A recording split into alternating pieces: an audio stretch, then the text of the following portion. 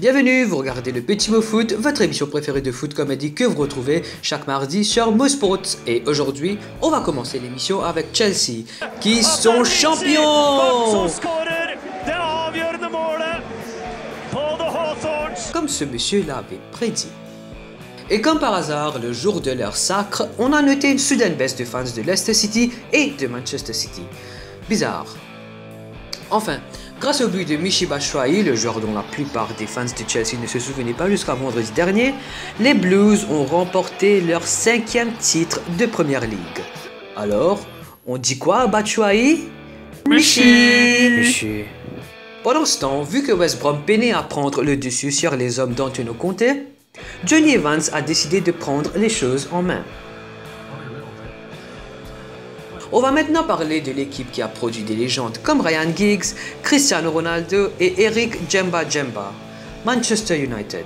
Les Red Devils étaient sixièmes. Ils sont partis sur une série de 25 matchs sans défaite et ils ont terminé sixième. On a officiellement là la série d'invincibilité la plus impuissante de l'histoire du foot.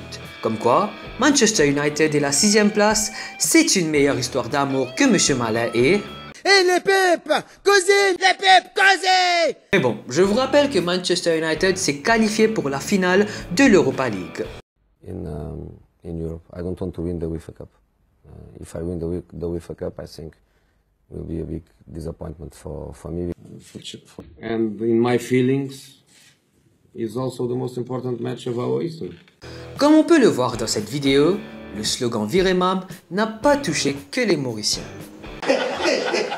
Pendant ce temps, en Écosse, l'arbitre de touche Andrew McWilliam a été expulsé. Regardez. Oh, he sees the funny side. Not sure Andrew McWilliams. Pourquoi l'arbitre lui a-t-il donné un carton rouge? D'après nos sources, il s'est disputé avec McWilliam et ce dernier lui a dit ça. Just as a friend, do you need a break? To take so, to breathe in and to calm down? Direction Ligue des Champions. Arrête Où le Real Madrid va affronter la Juventus lors de la finale. Malheureusement, l'Atlético n'a pu faire une remontada. Comme ce monsieur l'avait prédit.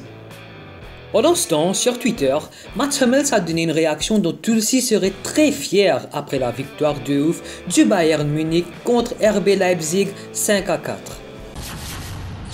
Arsenal est de retour dans la course pour la qualification pour la Ligue des Champions après leur victoire contre Southampton et Stoke City, lors de lesquelles Olivier Giroud a marqué trois fois.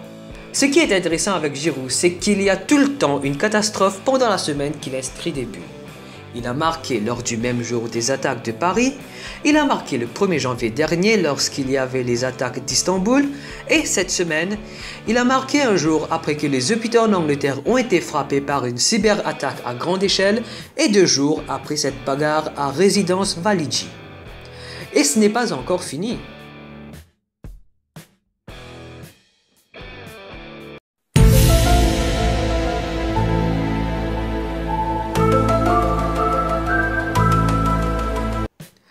Petite devinette, que fait Jürgen quand il est stressé?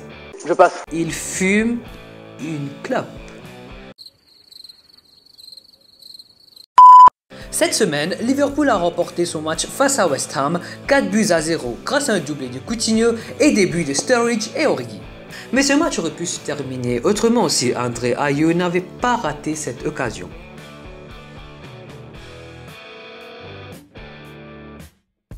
Sérieusement Ayew, même mon chien aurait pu marquer ça.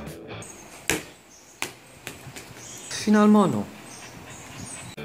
Et voici la question de la semaine. What Emmerich... Non, c'est... C'est pas bon là. Et c'est tout pour aujourd'hui. N'oubliez pas de me poser vos questions dans les commentaires. Quant à moi, je vous donne rendez-vous mardi prochain pour le dernier épisode du Petit Mot Foot, saison 1. Salut